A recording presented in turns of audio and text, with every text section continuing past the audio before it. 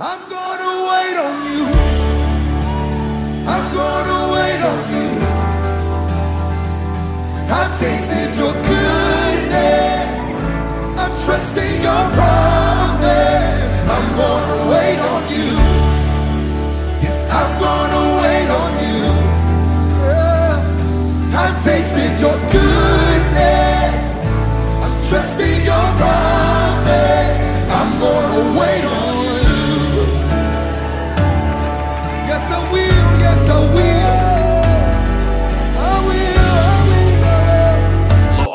Trevis Dampier, Trevis Dampier Ministries, a disciple of the Lord Jesus Christ. Today is Monday, November 20th, and today it is O Biden's birthday, and we're watching when he turns 81 to see if he's going to get taken out. So we're watching for something to get him taken out of this election today or taken out, period. So we are watching for that today. We are watching also for the Iceland volcano to erupt, possibly a mega quake to be coming out of there um, as the CME that was supposed to impact us hit us um, late yesterday.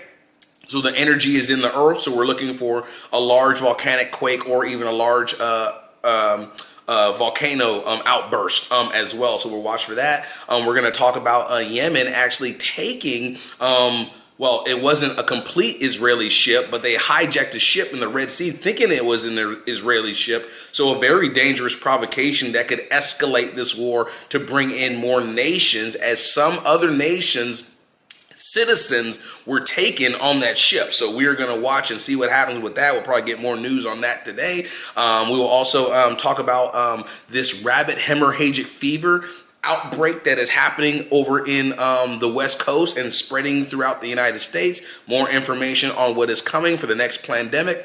Other things are way too sensitive for YouTube, so please click the Rumble link below and I will see you there. Shalom. Love y'all. Jesus Christ surely loves you dearly. Click the Rumble link below. See you there. Later.